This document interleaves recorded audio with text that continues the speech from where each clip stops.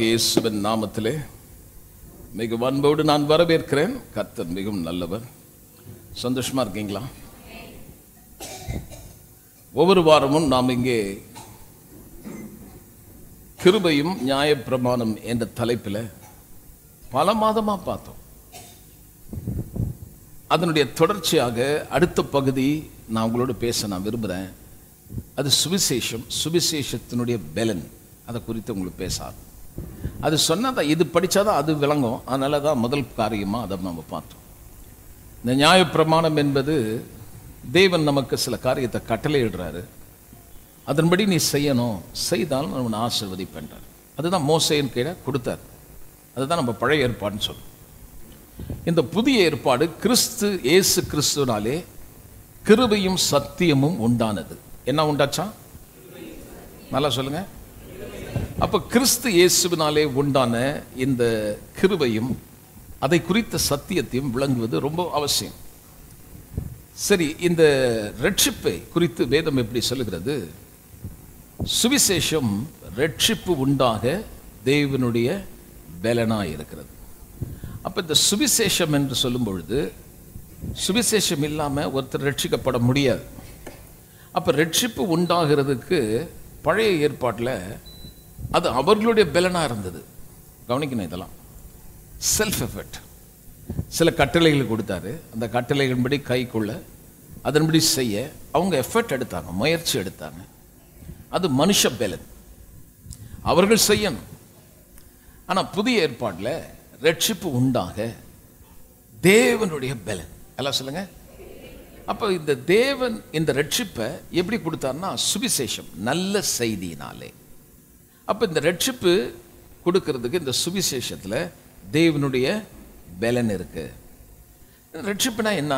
அப்படின்னு நிறைய பேருக்கு ரட்சிக்கப்பட்டிருக்கேன்னு சொல்கிறாங்க ஆனால் ரட்சிப்புனா என்னென்னு தெரியாமலே வாழ்ந்துட்டுருக்காங்க இப்போ உங்கள் எல்லாருக்குமே கண்டிப்பாக ஒரு அனுபவம் இருக்கு இல்லையா? எக்ஸ்பீரியன்ஸ் இருக்கும். அப்போ தேவனுடைய தொடுதல் அல்லது எனக்கு வந்து சபைக்கு வந்தேன் ரொம்ப கஷ்டத்தில் வந்தேங்க. ஆனால் அவங்க ஜெபம் பண்ணாங்க எனக்கு சுகம் கிடச்சிடுச்சு இப்படி ஒவ்வொருத்தருக்கும் ஒரு சில அனுபவங்கள் இருக்கும். நல்லா கவனிங்க.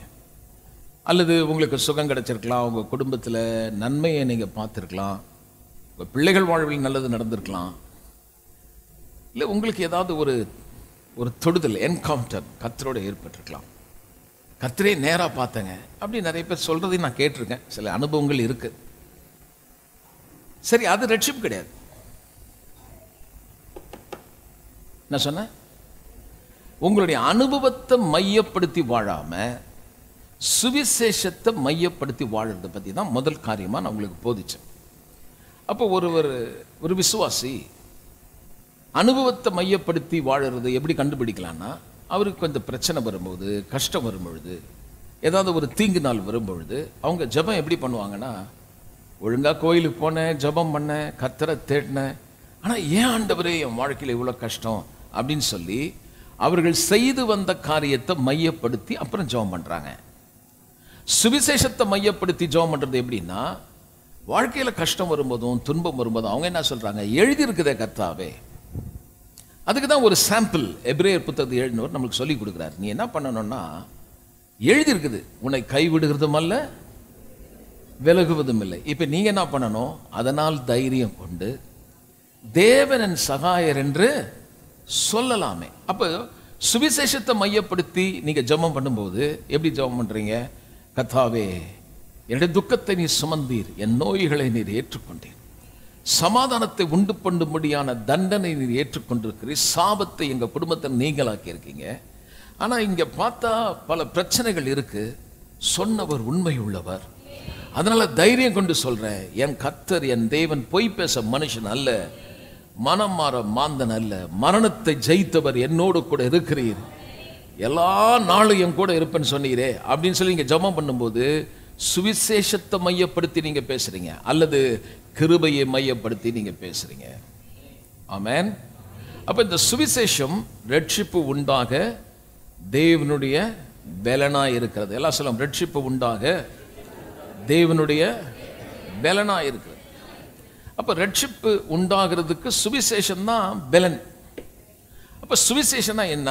அப்படின்னு பார்த்தீங்கன்னா சுவிசேஷன் தான் கிருப கிருப தான் சுவிசேஷன் இன்டர்சேஞ்சபிள் நீங்கள் சுவிசேஷனும் சொல்லலாம் அப்படி இல்லைன்னா கிருபனும் சொல்லலாம். ஆமேன் என்ன பாஸ்டர் உங்களுடைய ஓன் ஐடியாவான்னு கேட்கக்கூடாது. நான் சொந்த கருத்தில் நான் சொல்கிறது இல்லை எப்போவுமே அதுக்கு ப்ரூஃப் வசனத்திலேருந்து நான் உங்களுக்கு எடுத்து காட்டுவேன். எடுத்துக்கொள்ளலாம். அப்போஸ் சில புத்தகம் இருபதாம் அதிகாரம் இருபத்தி நாலாவது வருஷத்தை நாங்கள் பாருங்கள் அப்போஸ் நடுபின் புத்தகம். Those who have English Bible, please turn your Bible, Acts chapter 20 and verse 24. Right. ஒன்றையும் குறித்து நான் கவலைப்படேன். என் பிராணனையும் நான் அருமையாக எண்ணேன். என் நான் ஓட்டத்தை சந்தோஷத்தோடே நான் சந்தோஷத்தோടെ ஓடவும் தேவனுடைய கிருபையின் சுவிசேஷத்தை பிரசங்கம் பண்ணும்படிக்கு தேவனுடைய கிருபையின் சுவிசேஷத்தை பிரசங்கம் பண்ணும்படி நான் கர்த்தராகிய இயேசு கிறிஸ்துவினிடத்தில் பெற்ற ஊழியத்தை சரி அவருக்கு என்ன ஊழியம் கிடைச்சதுன்னு பார்த்தீங்கன்னா அவர் சொல்றாரு தேவனுடைய கிருபையின் ஊழியம். எல்லாம் சொல்லுவோம்? அதை என்ன எப்படி சொல்றாரு? கிருபையின் சுவிசேஷம். எல்லாம் சொல்லுங்க. அப்ப நல்ல செய்தி அதை எதை பற்றினா கிருபையை பற்றி காட்டுது. அது என்ன நல்ல செய்தி? அப்படின்னு பார்க்கும்போது பாவியாய் இருக்கிற எனக்கு தேவன் அவருடைய நீதியை கொடுத்தது. ரொம்ப நல்ல செய்தி. அதாவது காஸ்பிள்ன்றது வெறும் நல்ல செய்தியான்னு சொல்ல முடியாது. Too good and it is really too true ரொம்ப உண்மையானது. அதை வந்து ரொம்ப தெளிவாக அவர் பேச ஆரம்பிச்சார். இந்த நல்ல செய்தியை சொல்லும்போது சொல்றாரு இனி நீங்கள் பாவத்தின் கீழ் அல்ல தேவன் கிறிஸ்துவை அனுப்பி அவர் மறித்து ரத்தம் சிந்தி உங்களை மீட்டெடுத்ததினால் அந்த ரத்தம் உங்கள் பாவங்களை நீக்கி இருக்கிறது அவர் அவர் சொந்த ரத்தத்தினாலே ஒரு மிருகத்தின் ரத்தம் அல்ல காளையின் ரத்தம் அல்ல விலையேறப்பட்ட பரிசுத்த ரத்தம் உங்களுக்கு சிந்தப்பட்டபடினாலே பதிலாளாக மறித்ததினாலே உங்கள் பாவங்கள் நீங்கி உங்களுக்கு நீதி கொடுக்கப்பட்டிருக்குதுன்னு பிரசங்கம் பண்ணார். நீங்கள் அவரோடு மறித்தீர்கள் அவரோடு உயிரோடு எழுப்பப்பட்டு இப்பொழுது உன்னதங்களிலே அவரோடு கூட நீங்கள் உட்கார பண்ணப்பட்டிருக்கிறீர்கள். முன்னே தேவனற்றவர்களாக இருந்தீர்கள் நம்பிக்கையற்ற நிலைமையிலே இருந்தீர்கள் ஆனால் இவர் உங்களுக்காக மறித்து உயிரோடு எழுந்ததினாலே முன்பு நீங்கள் வாக்கு தத்தங்களுக்கு நீங்கள் அந்நியராக இருந்தீங்க ஆனால் இப்பொழுது கிறிஸ்து இயேசுவினாலே நீங்கள் அவரோடு கூட உடன் சுதந்திரருமாய் எல்லா வாக்கு தத்தங்களுக்கும் நீங்கள் வாரிசுதாரராய் பங்காளிகளாக இருக்கிறாருன்னு சொல்றார். இப்படி இந்த சுவிசேஷத்தை சொல்லும்போது அவர் சொல்கிறாரு இத்தனை நன்மை பெறதுக்கு நமக்கு எந்த தகுதியும் இல்லை. இதை நான் கிருபை என்று சொல்லுகிறேன். இந்த கிருபையின் சுவிசேஷம் கிருபையின் நல்ல செய்தி. எல்லாம் சொல்லுவோம் நல்ல செய்தி. அப்போ இங்கே பார்த்தீங்கன்னா அதோட ப்ரூஃப் நம்மளால் பார்க்க முடியுது இல்லைங்களா? அங்கே நல்ல தெளிவாக எடுத்து காட்டுது. அது என்ன அப்படின்னு பார்க்கும்போது நமக்கு விளங்குது என்னது? கிருபையின் சுவிசேஷம். எல்லாம் சொல்லுவோம்? திரும்ப சொல்லுங்க. ஆமாம் ஆனால் இப்போ இது எதை மையப்படுத்தி இருக்கணும் சுவிசேஷத்தை மையப்படுத்தி வாழுகிற ஒரு வாழ்வு. எல்லாம் சொல்லுவோம்? அப்ப கிருபை என்றாலும் சுவிசேஷம் சொல்லலாம். கிருப சுவிசேஷம் என்றால் கிருபைன்னு சொல்லலாம் நம்ம பார்த்தோம் இல்லையா?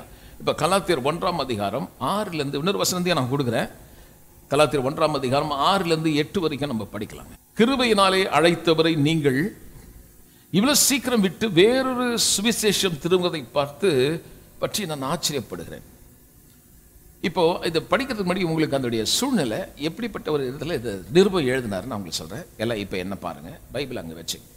பவுல் அந்த சுவிசேஷத்தை அவங்களுக்கு சொல்கிறார் மோசையின் வழியாக கொடுக்கப்பட்ட நியாயப்பிரமாணம் ஒரு பக்கம் இருக்கும் பொழுது இப்போ அவங்களுக்கு ஒரு நல்ல செய்தியை சொல்றாரு.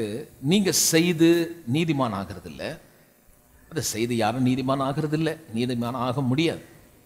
அதனால விருத்த சேதனை செய்யறதும் என்னென்ன செய்யணும் எதை செய்யக்கூடாது என்பதை விட்டுடுங்க. அதை பற்றி யோசிக்காதீங்க. இப்போ நீங்கள் செய்ய வேண்டிய பகுதியிலேருந்து கர்த்தர் எடுத்து நம்ம செய்ய முடியாத அவர் செய்து முடித்ததை நீங்கள் விசுவாசிங்கன்றார். அப்போது அவர்கள் விசுவாசிக்க வேண்டிய காரியத்தை சொன்னாரே ஒழிய செய்ய வேண்டிய பகுதியை சொல்லலை. இயேசு சிலுவையிலே செய்து முடித்தார். அது என்ன முடிச்சாருங்க? நல்லா கவனிங்க. பாவத்தை சுமந்து தீர்த்துட்டார். பாவி என்ற பேரை எடுத்து போட்டு உங்களை தேவ நீதின்னு ஆக்கிட்டாரு. அவர் அடித்த அந்த ஒவ்வொரு காயத்தால நீங்க சுகமாயிட்டீங்க. அவர் தரித்திரமா சாபமா சிலுவையில் தொங்கிறதுனால ஆபிரகாமுக்கு உண்டான ஆசீர்வாதம் உங்களுக்கு கொடுத்துட்டார். இப்போ இது கொடுக்கப்பட்டாயிடுச்சு. இப்போ இந்த சுவிசேஷம் சொல்றாங்க. சொல்லும்போது ரட்சிப்படி எப்படி உண்டாகுதுன்னு பார்த்தீங்கன்னா சுவிசேஷத்தை விசுவாசிக்கிறவன் எவனோ? எல்லாம் சொல்லுங்க. அப்போ இந்த சுவிசேஷன் நல்ல செய்தி சொல்லும் பொழுது விசுவாசிக்கிறன் எவனோ அவனுக்கு தான் ரட்சிப்பு உண்டாகுது. ஆனால் இவங்களுக்கு என்ன பிரச்சனை பார்த்தீங்கன்னா இந்த கலாத்திய சபையில் நிறைய பிரச்சனை வந்தவொடனே சில பேர் உள்ளே வந்து சொல்கிறாங்க ஏசுநாத சிலுவையில மறித்து ரத்தம் சிந்தி உயிரால் எழுந்தது மட்டும் போதாதுங்க. முடியை இப்படி நீங்கள் வெட்டணும். சட்டை இப்படியெல்லாம் மாற்றிக்கணும் நீங்கள் என்னென்ன பண்ணணுன்றதை சொல்லும்போது சொல்கிறாங்க மோசே சொன்ன நியாயப்பிரமாணத்தையும் ப்ளஸ்ஸு அதாவது இயேசு கிறிஸ்து மறித்து உயிரோடு எழுந்ததோட ப்ளஸ் மோசையுடைய நியாயப்பிரமாணம் ப்ளஸ் விருத்த சேதனம். ஹலோ அவர் விசுவாசிங்க. அது போதாது அது அது அது மட்டும் போதாது. உங்களுக்கு அப்படி வந்துடாது விசுவாசத்துல எல்லாம் வந்துடாது நம்ம செய்யணும். ஹலோ ஹலோ ஹலோ கவனிக்கிறீங்களா? உடனே பவுல் உங்களுக்கு கடிதம் எழுதுறார். எப்படி இவ்வளோ சீக்கிரம் நான் சொன்ன இந்த கிருபின் சுவிசேஷத்தை விட்டுட்டு சீக்கிரமா வேறொரு சுவிசேஷத்துக்கு எப்படி திரும்பினீங்கன்னு கேட்குற ஆச்சரியமா இருக்குதுன்றார். இன்னைக்கும் இந்த காலையில் எனக்கு சொல்ல வேண்டிய ஒரு செய்தி இருக்குது. பிரச்சனை வரும்பொழுது கஷ்டம் வரும்பொழுது உடனே என்ன செய்யலாம் என்பதை யோசிக்கிறதை விட என்ன செய்தார் என்பதை முதல்ல விசுவாசிங்க.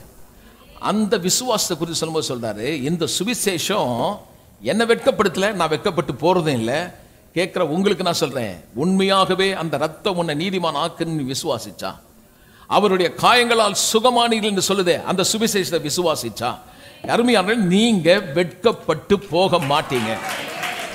அப்ப அவர் சொன்னார் எப்படி இவ்வளவு சீக்கிரம் இந்த கிருபையை குறித்து சொன்ன சுவிசேஷத்தை விட்டுட்டு வேறொரு சுவிசேஷத்துக்கு நீங்க செ- செவி சாச்சிட்டீங்களே என்றாரு. இப்ப படிங்களேன் ஏழாவது வருஷத்தை சொல்றாரு பாருங்க. வேறொரு சுவிசேஷம் இல்லையே. நல்லா கையை தட்டி தேவனை துதிப்பு என்ன சொல்றாரு? இதை விட too good and true news too good and to be true news இதை விட ஒரு நல்ல செய்தி இதை விட சிறந்த சத்தியம் எதுவும் கிடையாது. இன்னைக்கு ஒருவேளை நீங்க ஒதுக்கப்பட்டிருக்கலாம் கைவிடப்பட்டிருக்கலாம் வியாதி இருக்கலாம் துன்பங்கள் இருக்கலாம். ஆனா அவர் செய்ததை விசுவாசிக்கும் பொழுது விசுவாசிக்கிறவன் எவனோ இந்த ரட்சிப்பு உண்டாக அவனுக்கு தேவனுடைய பலன். விசுவாசிக்கிறவன் எனக்கு கேட்கல. விசுவாசிக்கிறவன் எவனோன்னு போட்டிருக்கா எவர்களோன்னு போட்டிருக்கா? பேசுங்களேன். அப்ப அது சிங்குலரா ப்ளூரலா ஒருமைப்பாடா பன்மையில் வருதா? ஒருமையில் வருது. அப்போ ஒவ்வொருவரும் அந்த பலனை பெறணும்னா நீங்க உங்களுக்கு விசுவாசிக்கணும். உங்க அம்மா விசுவாசத்தில் நீ ஓட்ட முடியாது. உங்க அப்பா விசுவாசத்தில் ஓட்ட முடியாது. இல்லைங்க ரெண்டு பேரும் விசுவாசம் இல்லை. எங்களுக்கு ஒரு பாஸ்டர் இருக்கிறாரு. அவர் விசுவாசத்தில் ஓட்ட முடியாது. இல்லைங்க எங்க தெருவில் ஒரு அக்கா இருக்கா ஜெபம் பண்ற அக்கா அந்த அக்கா விசுவாசத்தில் ஓட்ட முடியாது. உன் விசுவாசத்தை கொண்டு தான் கத்தர் உன்னை ஆசீர்வதிக்கவே முடிய முடிய ஒழிய நீ பெரிய பாஸ்டா இருக்கலாம். அதனால உன் பையன் ரட்சிக்கப்பட்டிருக்கான் உன் மகன் ரட்சிக்கப்பட்டிருக்கான்றது அர்த்தம் கிடையாது. கிறிஸ்துவ குடும்பத்திலே நீ பிறந்திருக்கலாம். அதனால நீ ரட்சிக்கப்பட்டிருந்தது கிடையாது. ரட்சிப்பு உண்டாக இந்த சுவிசேஷத்தை சொல்லும் பொழுது விசுவாசிக்கிறவன் எவனோ அவனுக்கு இந்த ரட்சிப்பு உண்டாக தேவனுடைய பலனா இருக்குது. இப்ப எட்டாவது வசனம் படிங்க. நாங்கள் உங்களுக்கு பிரசங்கித்த சுவிசேஷத்தை அல்லாமல் மை குட்னஸ்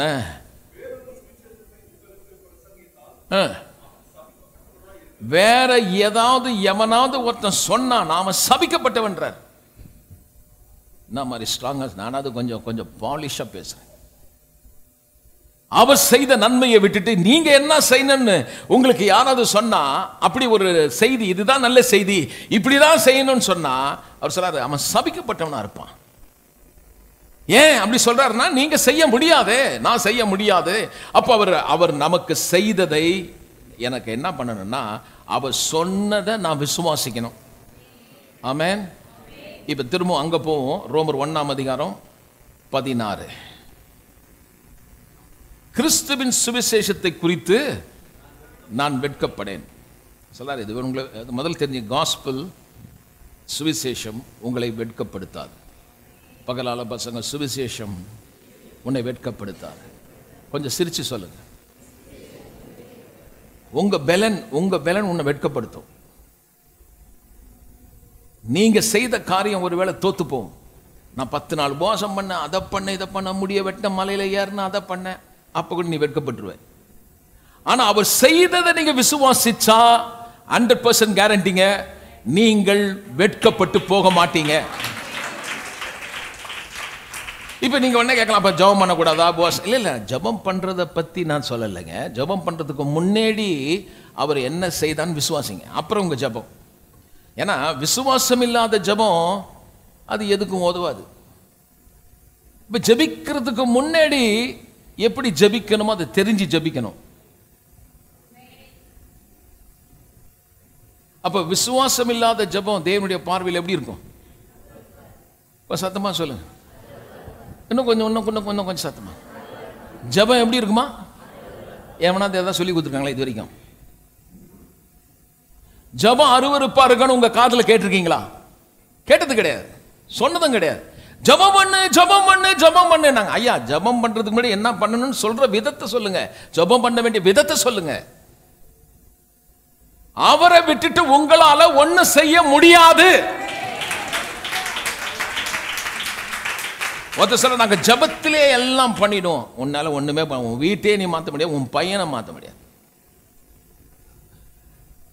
அப்படி ஒரு ஆள் எல்லாத்தையும் மாத்துற ஆளா இருந்தா இன்னைக்கு உலகத்தையே மாத்திருக்க மாட்டோம்? இல்லையா? நீங்க ஒரு காரியத்தை பெறணும்னா நான் ஒரு காரியத்தை பெறணும்னா நான் விசுவாசிக்கணுமா? முதல் காரியம் சொல்லிடுறாரு நீ வெட்கப்பட்டு போக மாட்ட.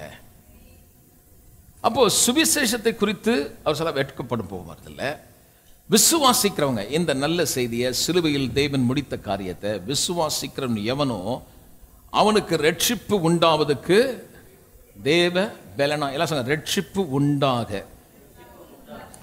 என்னவா இருக்குது? அப்ப சுவிசேஷத்தை ரட்சிப்புன்னு சொல்லும்போது நம்முடைய அனுபவம் ஒரு பக்கம் இருக்கு அனுபவம் ரட்சிப்பு கிடையாது.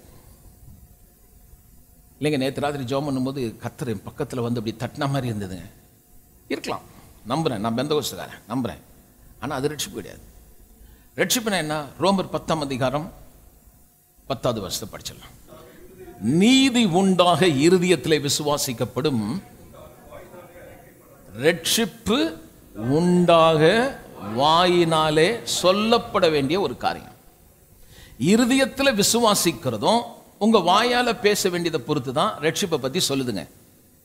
இப்போ என்ன விசுவாசிச்சு வாயில் பேசுகிறோம் சில பேர் ரட்சிக்கப்பட்டவங்க இருக்காங்க. ரொம்ப நேரம் ஜெபம் பண்ணியிருக்காங்க. சில அனுபவம்லாம் இருக்குது. அவங்க வாயில் சொல்கிறாங்க வீட்டில் கட்டு இருக்குது பேய் இருக்குது மந்திரம் இருக்குது.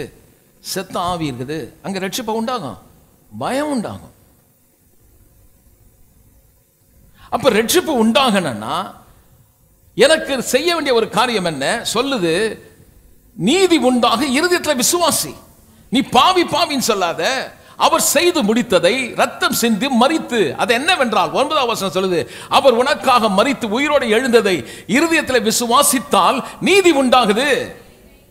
அப்ப நீதி உண்டாக என் வாழ்க்கையில் நீதி உண்டாக நான் நீதியை சம்பாதிக்கல. எனக்கு உண்டாக நான் என்ன பண்ணுறேன் இருதயத்தில் விசுவாசிக்கிறேன் மெய்யாகவே என் இடத்தை ஏற்றுக்கொண்டு என் பாவத்துக்காக தான் அவர் மறித்ததுனால என் பாவம் செட்டில் ஆயிடுச்சு. என் பாவ கடன் அடைக்கப்பட்டாகி விட்டது.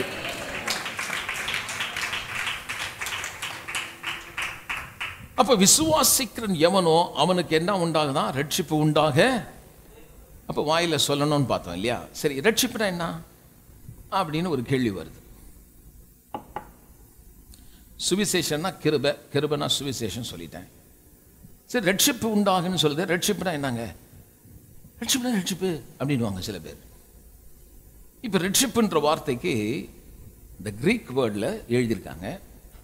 ஜோசோ என்ற வார்த்தை பயன்படுத்துறது எஸ்ஓ ஜெட்ஓ ஜோஹி என்ற வார்த்தை பயன்படுது இ அதனுடைய பொருள் என்னன்னு பார்த்தீங்கன்னா ரெட்ஷிப்னா preservation பாதுகாப்பு. ரட்சிப்பு உண்டாக வாயினாலே பேசணும். இப்போ எனக்கு பாதுகாப்பற்ற நிலை இருக்கும்போது இருதயத்தில் விசுவாசிக்கிறேன். துர்ச்செய்தியும் கஷ்டமும் துன்பமும் ராத்திரி தூங்க முடியாதபடி பெரிய போராட்டத்தின் மத்தியில் விசுவாசி போகும்பொழுது கதை சொல்ல உனக்கு சுவிசேஷம் உனக்கு ரட்சிப்பு உண்டாக தெய்வ பலனாகுதுன்னு சொல்லும்போது உனக்கு பாதுகாப்பு கொடுக்கிறதுக்கு இந்த நல்ல செய்தி தேவனுடைய பலனாக இருக்குது. அப்போது நான் உங்களுக்கு சொல்கிறேன் உன் பக்கத்தில் ஆயிரம் பேரும் உன் வலதுபுறத்தில் பதினாயிரம் பேர் விழுந்தா கூட நீ பாதுகாப்பாக தான் இருப்ப. அப்போது ஈவினிங் எல்லா இடத்துலையும் இந்த கொரோனா ரொம்ப ஃபேமஸ் ஆயிட்டே போயிட்டு தான் இருக்குது. இது வரைக்கும் முடிஞ்ச பாடு இல்லை. தற்சமயம் இப்போ நம்மலாம் லீவில் இருக்கோம். I don't know maybe January will be activated ஒரு காலத்தில் நம்ம வேலைக்கு லீவ் விட்டோம் ஸ்கூலுக்கு லீவ் விட்டோம் இப்போ பெர்மனண்ட்டாகவே விட்டோம்.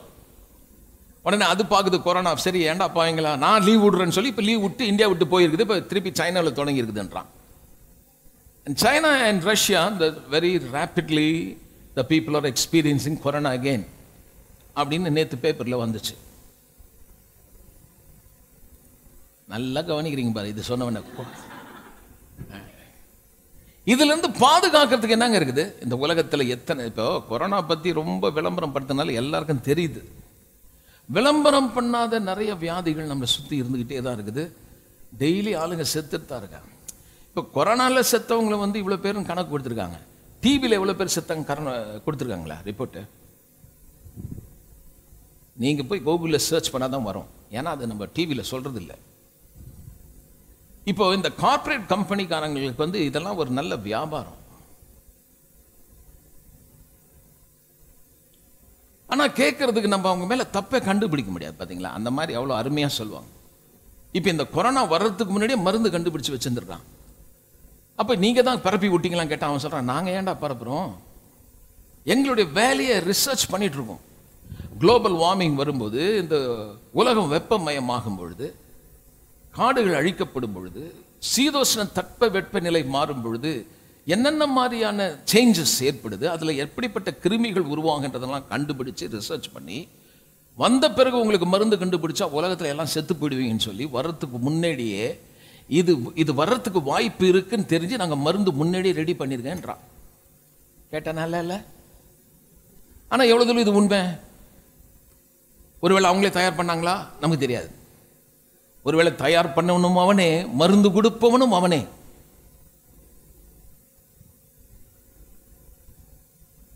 ஒரு மருந்து விலை எவ்வளோ? உலகத்தில் எத்தனை தொகை? எங்கேயோ உட்காந்துட்டு எவனோ ஒருத்தன் சம்பரம் பணத்தை அள்ளிக்கிட்டு போறான். ஆனா பாதுகாப்பு இருக்கா? மூக்கில் கவசம் போட்டோம் மூக்கு மேலே வந்து காரில் விண்ட்ஷீல்டு போட்ட மாதிரி ஒரு பெருசாக ஒன்று போட்டிருக்கான் ஒரு வைப்பர் தான் இல்லைங்க அதில். என்ன மாதிரி போட்டிருக்காங்க? ஆனா வியாதி எங்கெல்லாம் போயிடுச்சுங்க? அதிகாரிகளுக்கு போச்சு. மருந்து கொடுக்குற டாக்டர் கிட்ட போச்சு. உலகத்தில் இருக்கக்கூடிய உயர் பதவியில் இருக்கணும் போய் வியாதி பிடிச்சது. பிரசிடெண்ட்டை பிடிச்சது. உலகத்தில் பெரிய பெரிய பிரசிடென்ட் இங்கிலாந்து பிரசிடென்ட் பிரைம் மினிஸ்டருக்கு வந்தது. ஏன் அவங்க வீட்டில எல்லாம் துப்பாக்கி பிடிச்சிட்டு நிற்கிறதுக்கு ஆள் இல்லையா? பாதுகாப்பு இல்லையா? நீ எத்தனை ஜன்னல் போட்டாலும் எத்தனை பேரை வச்சாலும் கண்ணுக்கு தெரியாத ஒரு சக்தி கண்ணுக்கு தெரிகிற மனுஷனையும் உலகத்தையும் அழிக்கக்கூடிய சக்தி கண்ணுக்கு தெரியாத சின்ன காரியத்துக்குள்ள மறைஞ்சிருக்குது. நான் சொல்லுகிறேன் உன்னை அழிக்கக்கூடிய சக்தியிலிருந்து உருவாக்கக்கூடிய சக்தி கண்ணுல காண முடியாத இந்த உலகத்தில் காண முடியாத ஆவியின் மண்டலத்தில் என் தேவன் இந்த அழிவிலிருந்து பாதுகாக்க ஒரு பெரிய சக்தியை வச்சிருக்கார்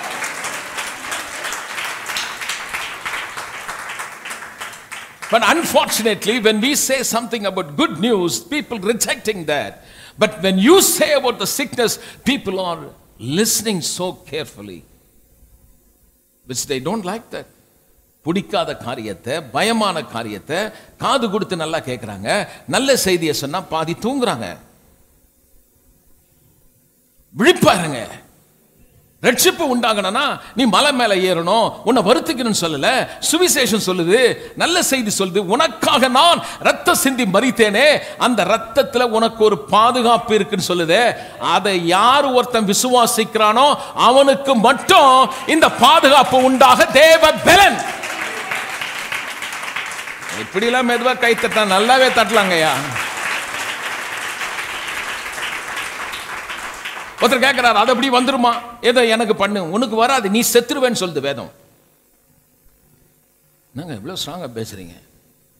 நான் என்ன இங்க நின்று உனக்கு ப்ரூவ் பண்றதுக்கு வரல? அவனுக்கு அதனால தான் சொன்னேன் விசுவாசிக்கிறவன் எவனோ? எல்லாம் சொல்லுங்க. நீ போய் ஒருத்தர் கிட்ட போய் ஜெபம் பண்ணிக்க அவர் சுகமாக்குவார்னு சொல்ல. அவர் ஜெபம் பண்ணா கூட நீ விசுவாசா தான் வரும். நீ விசுவாசிக்காமலே நான் ஜெபம் பண்ணி எல்லாத்தையும் சரி பண்ணியிருந்தா நான் ஏசுநாதரோட பெரிய ஆள்னு அர்த்தம். ஏன்னா அவரே செய்யல. தான் பிறந்து வளர்ந்து ஊராகிய நாசிரத்தில் வேதம் சொல்லுகிறது அங்கே அநேக அற்புதங்களை அவர் செய்யல. ஏன்னா அவர்கள் விசுவாசிக்காதபடினாலே. If you believe you will live விசுவாசித்தால் நீ வாழ்வாய். Wherever they rejected not because you're rejecting that you're going to have a destruction you are already condemned. நீ ஏற்றுக்கொள்ளணும்னா நீ செத்துருவ நான் சொல்லலைங்க. ஏற்றுக்கொள்றதுக்கு முன் ஏற்றுக்கொள்றியோ இல்லையோ ஏற்கனவே உன் மேல ஆக்கின தீர்ப்பு இருக்குது. ஆனால் யார் பாதுகாக்கிறது? வியாதியிலிருந்து யார் பாதுகாக்கிறது? வரக்கூடிய நரகத்திலிருந்து யார் உன்னை பாதுகாப்பது? வரக்கூடிய தீங்கிலிருந்து உன்னை பாதுகாக்கிறவன் யார்? வேதம் சொல்கிறது விசுவாசிக்கிறன் எவனோ? இந்த நல்ல செய்தி என்ன? என் பாவத்தை சுமந்து எனக்காக மறித்து உயிரோடு எழுந்தார். உன் பாவங்களை சுமந்து விட்டார் என்று சொல்லும்போது யாராவது ஒருத்தன் விசுவாசித்தால் அந்த விசுவாசம் அவனுக்கு ரட்சிப்பை கொடுக்க பாதுகாக்க கொடுக்க அது தேவ பலனாய் இருக்கிறது.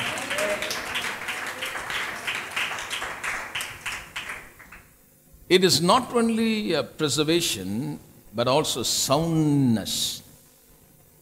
ரட்சிப்புனா என்னென்ன வார்த்தை இருக்குது பாருங்க. ரட்சிப்புனா ஜோவே. ஸோ நீங்கள் வேணால் கூகுளில் சர்ச் பண்ணி பாருங்கள் நான் சொல்கிறது இருக்கும். மீனிங் இதோடைய அர்த்தம். ஹலோ எடுத்து உங்களுக்கு விசுவாச வார்த்தையை சொல்லி கொடுக்கும்போது நல்லா கவனிக்கணும். நீங்கள் வாழணுன்னா வெறும் இட்லி தோசை மசால் தோசை மாந்து மருத்து மாத்திரை டானிக்கு முருங்கைக்கீரையை அரைச்சி தின்றது அவுத்திக்கீரை அன்னும் அப்படியே உயிர் வாழ்ந்துடும் நினச்சிடாத.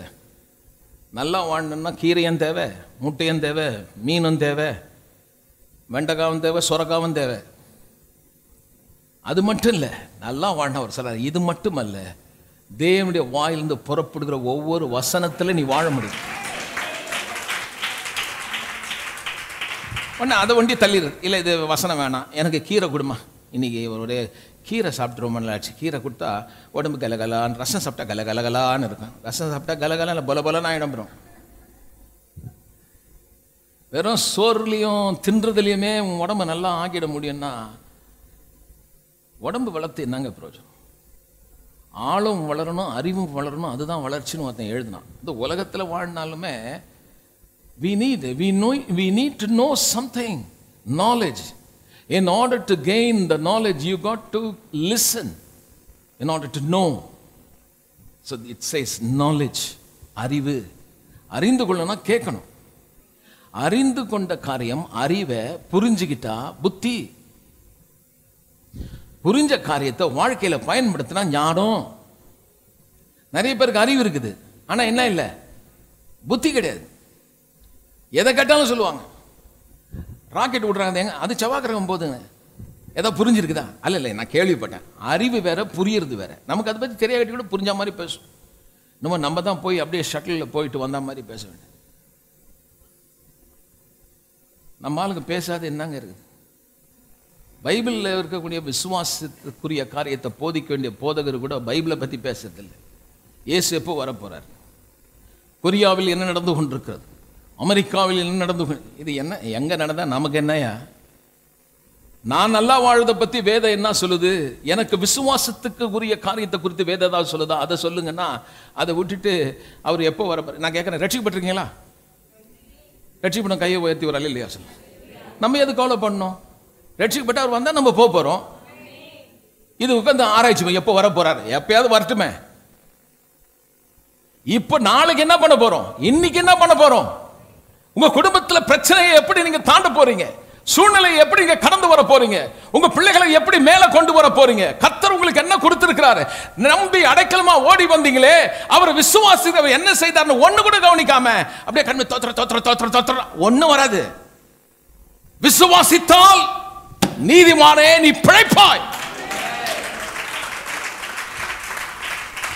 அப்ப நீதிமான் யார்? விசுவாசத்தினால் அவன் நீதிமான் ஆகிறான் அந்த நீதிமான் விசுவாசத்தாலே வாழ்கிறான். அப்ப என்ன நான் பண்றேன்? ரட்சிப்பு உண்டாக பாதுகாப்பு வர நான் விசுவாசிக்கிறேன். And Bible says சவுண்ட்னஸ் நல்லா சொல்லுங்க தெளிந்த புத்தி. நல்லா சொல்லுங்க. அதுக்கு தான் அதை சொன்னேன். அப்ப விசுவாசி மக்கா இருக்க முடியாது. ரட்சிப்பு வந்தா தெளிந்த புத்தி. விவரமா புரியும். புத்தினா அண்டர்ஸ்டாண்டிங் ஒன்றும் புரியலக்கா. ஒரே இருட்டா இருக்குது. ஜோம் பண்ண ஆவிகள் பறக்கிற சத்தம் கூட காதில் குறு குறு கேக்குதுக்கா. புத்தி இல்லைன்னு அர்த்தம். தெளிவு இல்லை. ஆனா வேதம் சொல்லுது உனக்கு விரோதமாய் உருவாக்கப்படும். உனக்கு விரோதமா குறி சொல்றது இல்லை உனக்கு விரோதமா மந்திரமும் இல்லை. உனக்கு விரோதமா ஜனங்க எழும்பினாலும் கத்தர் உனக்கு வழக்காடுவாரு. உனக்கு விரோதமா எழும்புற எந்த நாவையும் நீ குற்றப்படுத்த முடியும். நீ தோற்று போக மாட்ட. மரண இருளின் பள்ளத்தாக்கில் இருந்தாலும் பொல்லாப்புக்கு பயப்படேன். தேவரீர் என்னோடு கூட இருக்கிறீர். எனக்கு எழுதியிருக்குது எனக்கு தெளிவா புரியுது. உயிருள்ள நாளெல்லாம் நன்மையும் கிருபையும் என்ன தொடரும்.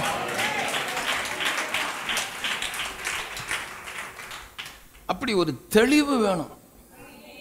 அந்த தெளிவு வரணும் வாயில சொல்லணும். பயமாகுதுக்கா? அப்படி சொல்லாம கத்தர் கூட இருக்கிறாரு அண்ணா ஒரு மாதிரி இருக்கிறேன் சொல்லாம என் கத்தர் என் கையை பிடிச்சிருக்காரு. விரோதமா ஜனங்க வந்து காதில் ஏதாவது பேசிட்டு போனா அழக்கூடாது. நான் பயப்பட மாட்டேன். நான் மனுஷனோட யுத்தம் செய்ய மாட்டேன். எனக்கு யுத்தம் செய்ய ஒருத்தர் இருக்கிறார். அவர் நடத்துவார். அல்லேலூயா அதனால கண்ணில் பார்க்கறத வச்சு நீங்க பயந்துடக்கூடாது. பார்க்கறதெல்லாம் காணப்படாத இடத்துல தான் வந்துச்சு. என்ன சொன்ன தோன்றி கொண்டிருக்கிற காரியம் எல்லாம் அதை பார்த்துக்கிட்டு இருக்கலாம் எங்கேருந்து வந்தது? அதுதான் பாஸ்டர் உன் பிள்ளை எங்கேருந்து வந்தது? பதிலே வரமாட்டேன். காணப்படாத இடத்துல தானே இருந்துச்சு. வந்து சொல்லுது மனைவி எங்க ஒரு மாசம் ஆயிடுச்சு. பிள்ளை தரிச்சிருக்கேன். நீ பாத்தியா? அது எங்க இருக்குது இப்போ? காணப்படாத இடத்துல இருக்குது. ஒரு நாள் வரும். ஒன்பது மாதம் பொறுத்து அது வந்துடும் அப்போ நம்ம என்ன பண்ணுறோம் பொறுமையாக இருக்கும். வேறு பதிலே வர மாட்டேன் நம்ம என்ன பண்ணுறோம் அப்போ காணப்படாத மண்டலத்தில் உனக்கு சுகம் இருக்குது செழிப்பு இருக்குது சமாதானம் இருக்குது. வரும். நமக்கு என்ன வேணும்? சொல்ல மாட்டீங்களே? சொல்லுங்க என்ன வேணும்? இல்லை இல்லை எனக்கு மரியாதை நீ இப்போ புள்ள இருக்குதுன்னு சொல்கிற ரெண்டு மாதம் தான் இப்போ நான் பார்த்து ஆகணும் எடு அந்த கத்தியை நீ என்னைக்கு அதை எடுத்திருக்கியா? அப்படி நீ ஸ்கேனிங்கில் போனால் கூட நமக்கு ஒரு ஒரு கருப்பாக ஏதோ ஒன்று காட்டிட்டேன். ஒன்று நம்ம ஊரில் அந்த அளவுக்கு த்ரீ டி லெவலுக்கு வரல. இருக்கு but you got to pay money more நிறையா கொடுக்கும் அங்கே டாக்டர் சொல்கிறார் அப்படி தடவிட்டு நம்ம வயிற்றுல வச்சு. திட்டா அதான் கையின்னு ரொம்ப தெரிஞ்ச மாதிரி ஆமாம் ஆமாம் பார்த்தேன் பார்த்தீங்களா அது உண்மையிலுமே தெரியாட்டு தலையாடி பட் யூ ஆர் பிலீவிங் கத்திரிக்காய் எங்கேருந்து வந்துச்சு? முருங்கைக்காய் எங்கேருந்து வந்துச்சு? எல்லாமே காணப்படாத இடத்துல இருந்து தான். விதைய போட்டான். அது எங்க இருக்குது இப்போ? காணப்படாத இடத்திலிருந்து தோன்றி வருது. பார்க்குற மாதிரி வருது. அதே மாதிரி நல்ல கவனிங்க. காணப்படாத மண்டலத்தில் என் தேவன் என்னுடைய சுகத்தையும் என்னுடைய சந்தோஷத்தையும் என் சமாதானத்தையும் என் செழிப்பையும் நல் வாழ்வையும் அங்க வச்சிருக்கார். பட் ஐ நீட் பேஷன்ஸ் விசுவாசமும் பொறுமையும். எல்லாம் சொல்லுவோம்? நல்லா சொல்லலாமே. ஒருத்தர் சொல்றாரு மூணு மாதம் போனாங்க கோயிலுக்கு ஒன்றுமே வரல. இது எப்படி இருக்குதுன்னா குழந்தை பிறகு ஒன்பது மாதம் மூணு மாதமாக பார்த்தேன் என் மனைவி இன்னும் குழந்தைய பெறலைங்க. நான் நம்ப மாட்டேன்னா தெரிஞ்சவன் விவரம் தெரிஞ்சு சொல்லுவான் அந்த ஆளு கொஞ்சம் லூஸ் பொழுது டாக்டர் கிட்ட கொண்டு போவான் அந்த மாதிரி வேத வசனத்தை புரிந்தவனுக்கு தெரியுது நான் குழம்ப மாட்டேன். நோபடி கன் கன்ஃபியூஸ் மீ வராது நடக்காதுன்னு சொன்னா கூட நான் குழம்ப மாட்டேன். எனக்கு தெளிந்த புத்தி இருக்கிறது. சொன்னவர் உண்மையுள்ளவர் நான் விசுவாசித்திருக்கிறவர் இன்னார் என்று எனக்கு தெரியும். நான் ஆராதிக்கிற தேவன் என்னை தப்புவிக்க வல்லவர். Amen. ஸோ சால்வேஷன் ரெட்ஷிப்புன்னு சொன்னா preservation soundness and also healing சுகம். எல்லாம் சொல்லுங்க? சுகம். அப்போ சுகம் உண்டாக ரட்சிப்பு உண்டாக சுவிசேஷம் ரட்சிப்பு உண்டாக விசுவாசிக்கிறவனுக்கு சுவிசேஷம் ரட்சிப்பு உண்டாக தேவபலன். அப்ப சுகம் உண்டாக தேவபலன். எல்லாம் சொல்லுங்க? கவான் ஸ்பீக் நல்லா சொல்லுங்க. வியாதியோட பலனுக்கு மேல சுகம் உண்டாக இந்த சுவிசேஷத்தில் பலன் இருக்கு.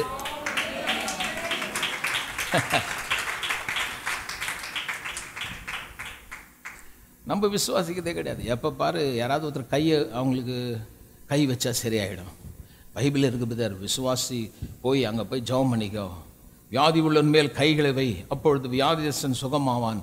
அங்கே எழுதியிருக்குதையா ஆனால் நம்ம என்ன நம்ம போய் நின்றுக்குவோம் மன்னிக்கணும் நாலு முடி வேணால் கைண்டி போயிடும் உனக்கு. ஊர்லெல்லாம் தலையை கொடுத்துட்டே வா. முடி கொட்டிடும். ஒரு காரியத்தை விசுவாசிக்காம யாரோ ஒரு மனுஷனை தெய்வத்தை போல பார்க்காதீங்க. I am also ordinary man உங்களை மாதிரி நான் சாதாரண மனுஷன். ஆனால் நான் சொல்லுகிற இந்த இயேசு சாதாரணமானவர் அல்ல தண்ணீரை திராட்சரசமாக்கினவர் மறித்தவனை உயிரோடு கூட எழுப்பினவர் பாவிகளை நீதிமான ஆக்குகிறவர் வியாதிகளை சுமந்தவர் மரணத்தை ஜெயித்தவர் பாதாளத்தை ஜெயித்தவர் மகிமையாய் உயிரோடு எழுந்தவர் திரும்பவும் வருவார் Amen. Zoe, Zozo, it means deliverance from penalty. எல்லா ஆக்கின தீர்ப்பிலிருந்து நம்ம விடுதலை ஆயிட்டோம். சில பேர் சொல்லுவாங்க நான் பண்ணியோ கத்த தண்டிக்கிறான் பிரதர் பண்ண அது அப்படியே தெய்வம். அதுவும் பைபிள் இருக்கிற மாதிரி எடுத்து ரொம்ப அல்லா தோத்துறோம் தோத்துறோம். தண்டிச்சிடாத ஆண்டவரே கொஞ்சம் பார்த்து அடிங்க. அதுக்கு ஒரு வசனம் எடுப்பாங்க. தாவிதி ஜோமன் வசனம் ஆண்டவரே அடியும் மட்டமாக அடியும். கொஞ்சம் பார்த்து அடிங்க. நல்ல வசனம்லாம் கண்ணுக்கு தெரியாது பாருங்க. உதைக்கிறது அடிக்கிறது அது வேற சில விசுவாசிங்க சொல்றாங்க நாங்கள் கோயில் போவோமா எங்கள் பாஸ்டர் பிரசங்கம் பண்ணனா கண்ணத்தில் பலார பலாரம் கொடுத்த மாதிரி இருக்குமா?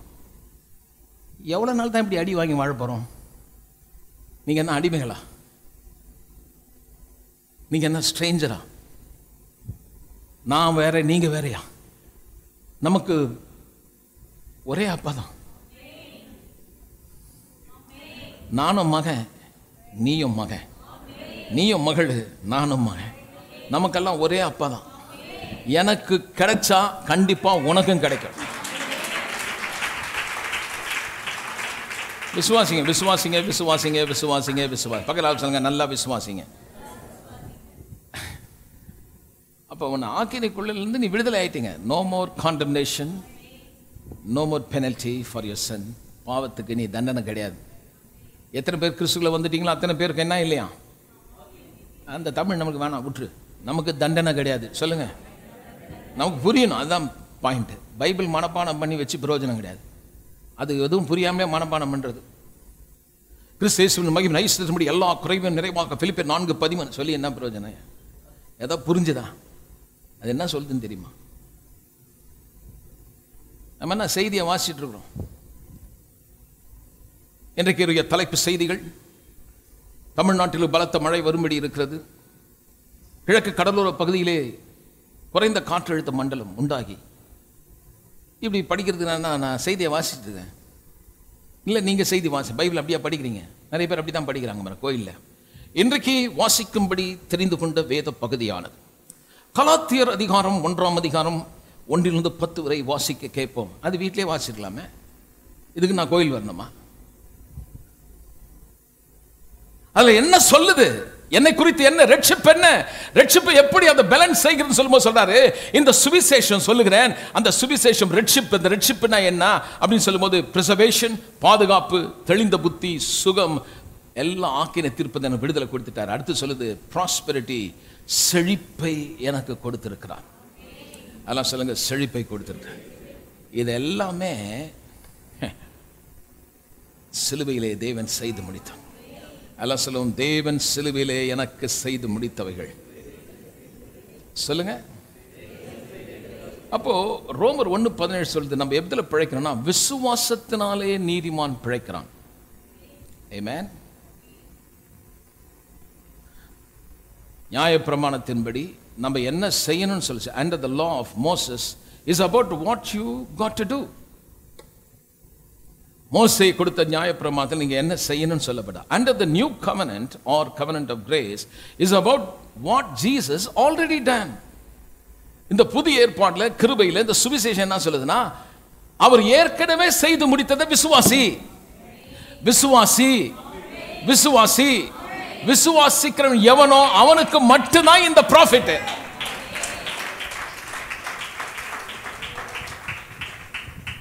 அலலூயா அப்போ விசுவாசத்தினாலே நீதிமான் பிழைப்பான். எல்லாம் சொல்லுங்க. எதனால பிழைக்கிறான்னா? பிழைப்பான்னு சொல்றதை விட விசுவாச நல்லா வாழலாம். எந்த தமிழ் உங்களுக்கு பிடிச்சிருக்குது இது பழைய இது மாதிரி தமிழ் நமக்கு புரிய மாட்டேது அதனால இப்படி கொஞ்சம் புரியுற மாதிரி சொல்கிறேன் விசுவாசத்தினாலே நீதிமான் பிழைப்பான உடனே சுனாமிலேருந்து தப்பிச்சிட்டு வந்தப்பா பழிச்சிட்டம்பா அப்படி கிடையாது.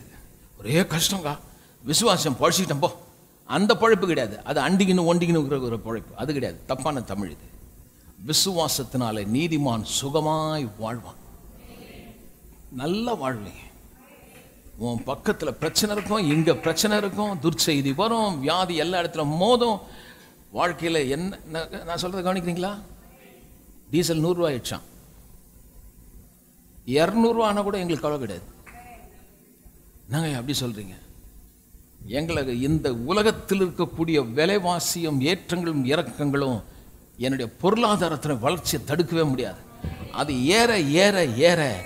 இந்த பக்கத்தில் எனக்கு வருமானம் மேலே மேலே மேலே மேலே போகும். நான் கேட்குறேன் என்னைக்காவது அம்பானி கவலைப்படுவாரா? இரநூறுவா வச்சுட்டாம்பான் அந்த ஆள் கண்டுக்கிறதே இல்லை. Because he got more than enough உங்கள் தேவன் யார்? பொன்னும் வெள்ளியும் என் கத்தருடையது பூமியும் அதன் நிறைவும் கத்தருடையது இன்னும் உங்கள் மைண்டை கொஞ்சம் மாற்றணும் என்ன வேணால் ஆகட்டும். இந்த உலகத்தில் அப்படிதான். இந்த உலகத்தில் இருக்கும் பிரச்சனை வந்துக்கிட்டே இருக்கும். சொல்லி பாருங்க. ஒருத்தர் சிலர் பா பிரச்சனையே இல்லாமல் நல்லா வாழ்த்து கொஞ்சம் ஜெபம் பண்ணுங்க. ஜெபம் பண்ணால் நீ இங்கே இருக்கக்கூடாது. போயிடணும். பிரச்சனையே இல்லாத இடம் பரலோகம் மட்டும்தான். அப்போ நம்ம என்ன பண்ணோம் செத்து போயிடணும். இந்த உலகத்தில் என்ன இருக்குதான் கேட்க மாட்டுது காது. உபத்திரம் இருக்குது. அதுலேருந்து நீங்கள் அந்த உபத்திரவம் இருக்குது. ஆனால் ஒரு சந்தோஷமாயிரு சந்தோஷமா இரு. ஏன் நான் சந்தோஷமா இருக்கேன் அது என்ன அழிக்க முடியாது. அது என்ன மேற்கொள்ள முடியாது. வியாதி ஜெயிக்காது நான் ஜெயிப்பேன். தரித்திரம் என்னை வீழ்த்தாது நான் ஜெயிப்பேன். என்னை கீழே தள்ள முடியாது நான் மேலே வருவேன். நான் வாளா இருக்க மாட்டேன் நான் தான் கலையா இருப்பேன். நான் கடன் வாங்க மாட்டேன் கடன் கொடுக்குற மாதிரி வாழ்வேன். வழியே இல்லாம போனாலும் எனக்கு ஒருத்தர் வழியை திறக்கிறார். வெண்கல கதவு மாதிரி இருந்தா கூட அதை உடைச்சு எனக்கு ஒரு வழியை உண்டு பண்ணி எனக்கு முன்னாடி போய் கோணநாளத்தில் என் செவையாக்கி என்னை வாழ வச்சு தலையை உயர்த்துற ஒரு பெரிய தேவன் என்னோட கூட இருக்கிறார். அந்த மாதிரி விசுவாசம் நல்லா வாழலாம். என்னவோ பயமாகுதுக்கா. படபடன்னு இருக்குது. பார் விலை விதை ஏற்றிட்டே போகிறான் கேஸ் விலை ஏறி போச்சுன்றாங்க. சரி கதை வாங்கலான்னு போனங்க கத்திரிக்காய் கட்ட கேடு. இன்னும் விலை வைக்கிறாங்க அதிகம் வாயில் அடிச்சுக்கிற? வயிறு அடிக்குதுக்கா? அப்படி அடிச்சுக்க வாயில். இந்த உலக ஜனங்களை போல அந்த பேட்டர்ன் ஸ்டாப் தட் உன்னை ஏழையாக பார்க்காத. முடியாதுன்னு பார்க்காதீங்க. நான் சின்னதாக இருக்கும்போது அரிசி பஞ்சம் வந்து தெரியுங்களா? உங்களுக்கு தெரியுமான்னு தெரியாது. ஏன்னா நான் கொஞ்சம் வயசான ஆள் மாதிரி தெரியுறேன் உங்களுக்கு. அப்போ எனக்கு வந்து கரெக்டாக நாலு வயசு. எங்கள் அம்மா என்னை கொண்டு போய் லைனில் நிற்க வச்சுட்டாங்க. அப்போ சீஃப் மினிஸ்டர் பக்த வச்சலம் நாலு வயசுலேயே எனக்கு எல்லாம் ஞாபகம் இருக்கு. அரிசியே கிடையாது. We were standing in the line அப்படியே கடையில் போய் எடுப்பாங்க அரிசியை கொள்ளடிப்பாங்க. அப்படி இருந்து அப்படிப்பட்ட ஒரு பயமான ஒரு நிலை. அப்போ சொன்னாங்க நான் லைன் நின்றுக்கிறேன் அந்த ஆள் சொன்னதை நான் மறக்க மாட்டேன். இவெல்லாம் வளர்ந்து பெரிய ஆகும்போது கிடைக்காதியா? இப்போவே இந்த பஞ்சம் நாற்பது கோடி ஜனம் நம்ம அப்போ சொல்றாங்க நாற்பது கோடியாம் நாற்பது கோடி இருக்கும்போதே இந்த அரிசி கதி இதுங்க எல்லாம் எட்டும் பத்தும் பெத்து போட்டுனுக்குதுங்க. இதுங்களுக்கெல்லாம் எங்கேருந்து சோறு கிடைக்கும்? நம்மளை வச்சு சொல்றான் என்னை வச்சு சொல்றான் எனக்கு சோறு கிடைக்குமான்னு. பயத்தை கிளப்புறான் இன்னைக்கு நூற்றி முப்பத்தேழு கோடி யாருக்காவது அரிசி பஞ்சம் இருக்குதா அதனால இவங்க சொல்றதெல்லாம் நம்பாதீங்க வாழ முடியும்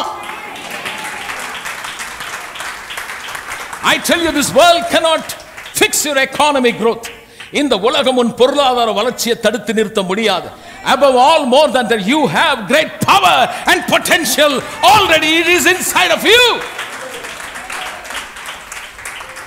ஒண்ணுமே இல்லாத இடத்துல வாழக்கூடிய ஒரு சக்தியும் ஒரு அபாரத்தையும் ஒரு திறமையும் ஒரு ஆற்றலையும் கர்த்தர் உனக்குள்ள வச்சிருக்காரு. அது யாருக்கு இங்க வரும்? விசுவாசிக்கிறவங்களுக்கு உண்டாகும். பக்கத்து ஆள் பேர் சொல்லுங்க. அப்ப எதை தேடணும்? அரிசி எங்க கிடைக்கும்? புளி எங்க கிடைக்கும்? சுகம் எங்க கிடைக்கும்? மருந்து எங்க கிடைக்கும் சுத்தி நடக்கிறதெல்லாம் கொஞ்சம் பேக் பண்ணி நிறுத்திட்டு கொஞ்சம். அப்புறம் போகலாம் அதெல்லாம். அதை வச்சிரு. நான் எதை தேடணும் வேறு சொன்னால் seek first the kingdom of of and is his நீ அதெல்லாம் தேடாத. முதலாவது தேவ ராஜ்யம் என்ன?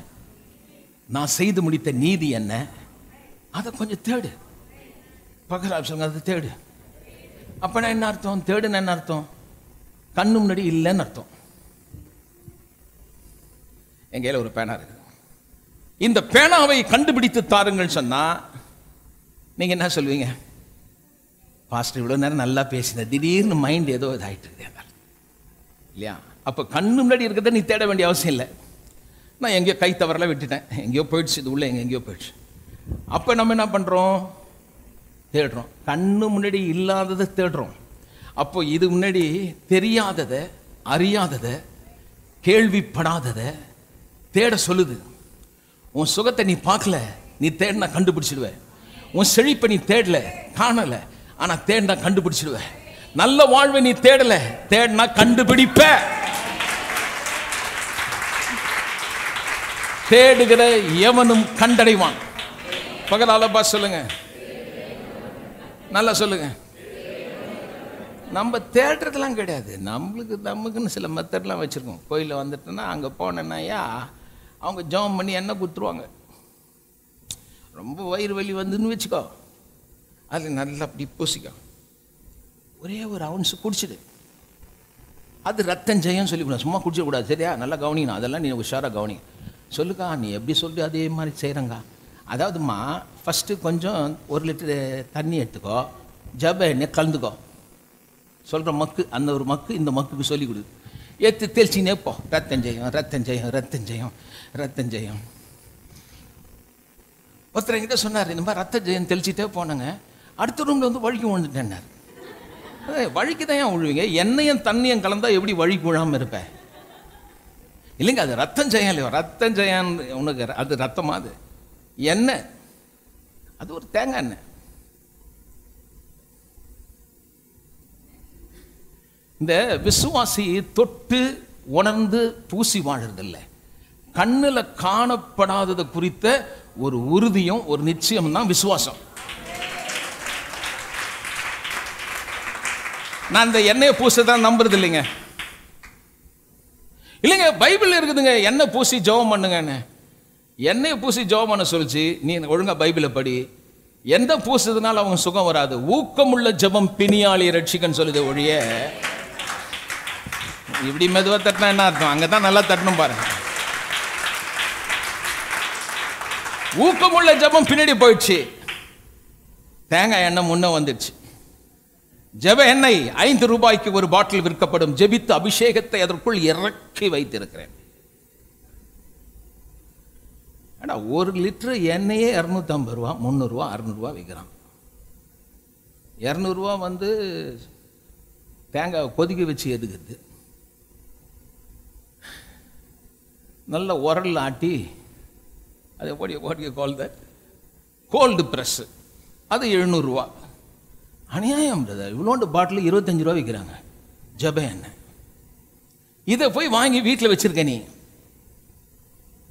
வசனத்தை உள்ள வைக்கல.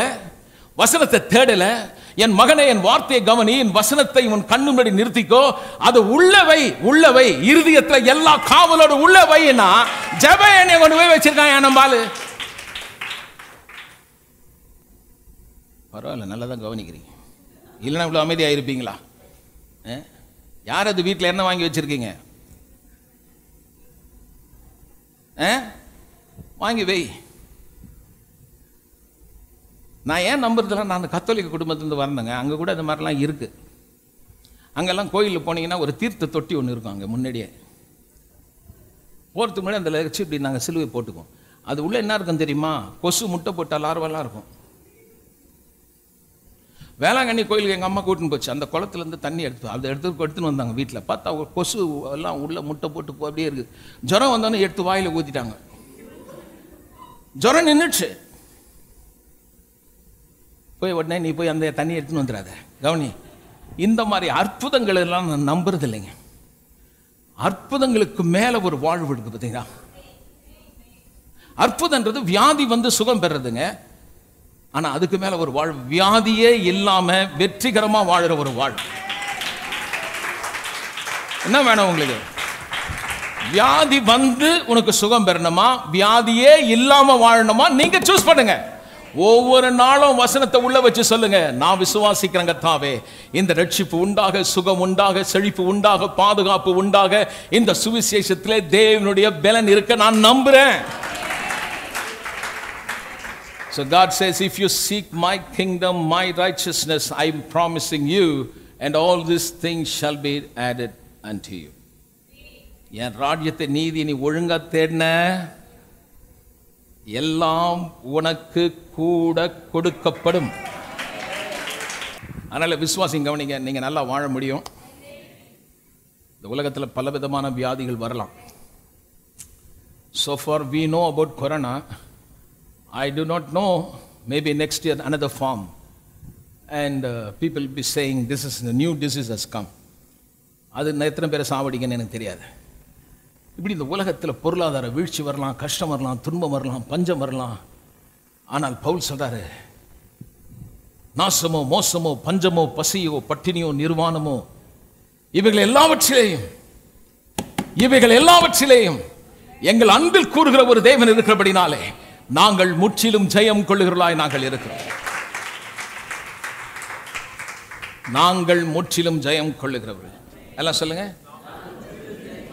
சொல்லுங்க நான் முற்றிலும் ஜெயம் கொள்வேன். I am a more than a conqueror that's wonderful word amen நல்லா வாழ முடியுமா? கவலைப்படக்கூடாது. அழாதீங்க. நல்ல கஷ்டம் இருக்கலாம். உங்களுக்கு துன்பம் இருக்கலாம். தாங்க முடியாத சக்தி இருக்கலாம். நம்புங்க அவரை நம்புங்க அவரை விசுவாசிங்க. எல்லாம் சரியாயிடும்.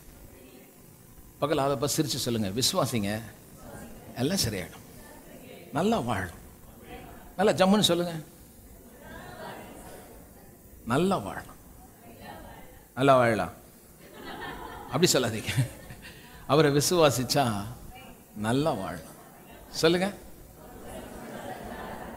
சில பேர் கல்யாணத்தில் பிரியாணி சாப்பிட்டோன்னு சொல்லுவோம். பா இன்னும் அது என்ன என்னடா அது? பா பா பா. அதை அவனுக்கு புரிய வைக்கிறாங்க. அவன் வயிறு எரியணும்ல அடப்பா என்ன சொல்லாமல் போயிட்டு நான் வந்திருப்பேனே. எனக்கு தெரியாமல் போயிடுச்சேன்றான். அதை அவனை அந்த அளவுக்கு சொல்லி அப்படி அவனை அந்த லெவலில் கொண்டு போயிடுறான். நல்ல செய்தியை சொல்கிறதே கிடையாது பாருங்க. அதே மாதிரி சில பேர் பார்த்தீங்கன்னா வியாதியில் சாவுதப்பா நான் பார்த்தேன்ப்பா அப்படியே இழுத்து அப்படியே இழு- இழுக்குது. அப்புறம் இவனுக்கே இழுத்துக்கும் பாருங்க. அந்த மாதிரி எக்ஸ்பிரஷன் பண்ணி ஒரு நல்ல செய்தியை நம்ம சொல்கிறோமா சிரிச்சு சொல்லாமல் எல்லாவற்றிலும் வாழ்ந்து சுகமாயிரும். தட்ஸ் ஒண்டர்ஃபுல் நல்ல கரங்களை தட்டி நாம் தேவனை துதிப்போம். எழுந்து நாம் கத்தரை துதிப்போம்.